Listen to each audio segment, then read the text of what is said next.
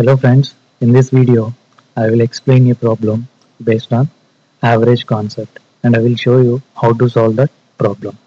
So let us assume a batsman a batsman scores 87 runs in his 17th innings. In his 17th innings. And thus increases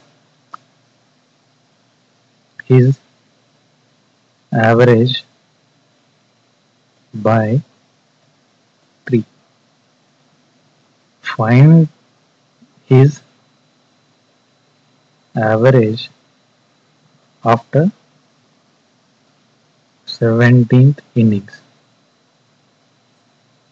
Okay so a batsman scored 87 runs in his 17th inning and thus increases his average by 3. Find his average after 17 innings. Okay, let the average, the answer is like this. Let the average after 17th innings is equal to x. Okay, after 17th innings it is x. So after 17th innings, he increases his average by 3. So that means the average after 16th innings is x minus 3.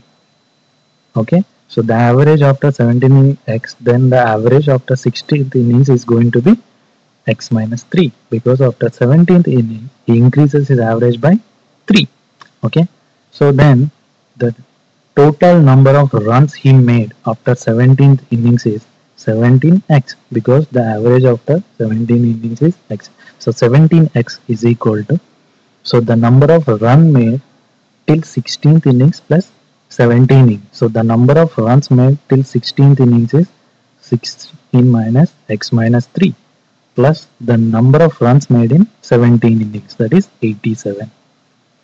That is 87.